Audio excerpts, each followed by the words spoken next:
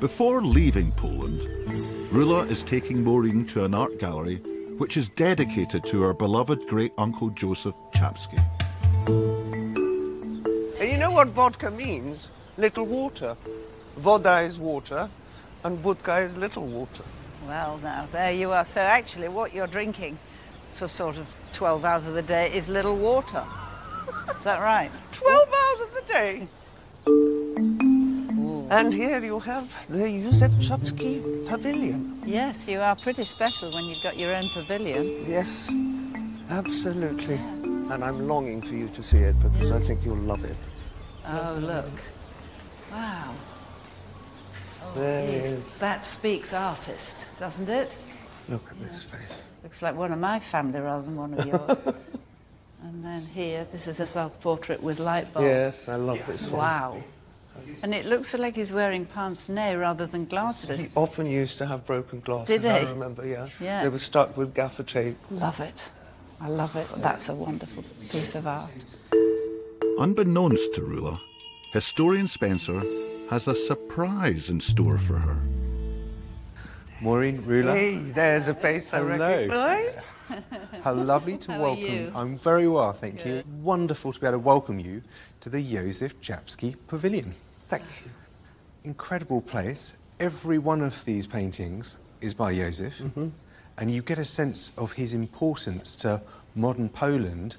They've brought all of his paintings here to display. Apart from one I've got in my house. Well, you, you better let them know. so we, we go to 1945. Joseph is reunited with Maria, and they both move to Paris. Uh, and they turn to what brings them both happiness art, literature, culture. And the work you see around you in this gallery Was is- done in that time. is all from that period. We can see some of the, the detail he's putting into his sketches. And Yeah. Can, I, can I show you this little sketch down here? Yeah. Tiny little sketch was down there, that little rectangle. Those are stairs and mm. banisters, and that is the stairway up to the little rooms where he and Maria lived And do you remember together. I told you the treads were so narrow and they had such huge feet that she mm. had to go. She Yeah, had, he he had had to- to go down sideways. he had to go sideways. Well, can I take you around the, the, the That, corner? yeah. Oh, oh, ho, ho! I remember that. Th- This is that stair- stairway, Yes, Rula. and it's going into their flat. It's really nice. It may not have been a palace, but it looks It like was, it was their palace. Mm. their palace. They were very, very happy there.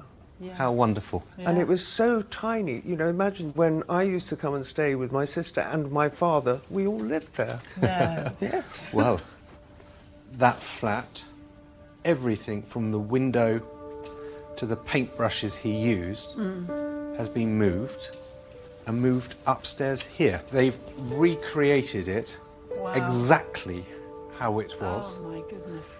And today, for the only time, normally you simply view it from a platform.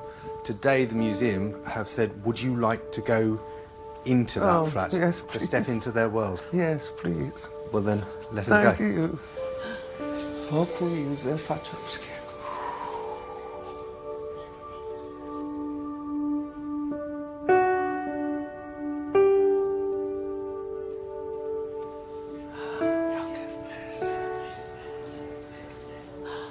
I remember it so well. Do you? Yes. How old were you when you were last in this room? 12, 13, something like that. Full of his heart and soul. Everything, every single thing was moved bit by bit, book by book, paintbrush by paintbrush.